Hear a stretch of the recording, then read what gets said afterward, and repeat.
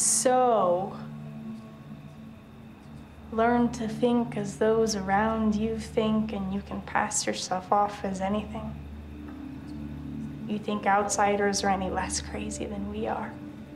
I'm not crazy. Are you really going to die? Who told you that?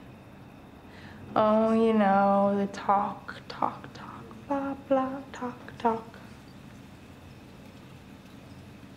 I don't want to wait. Do you know how I can get my hands on something? Really?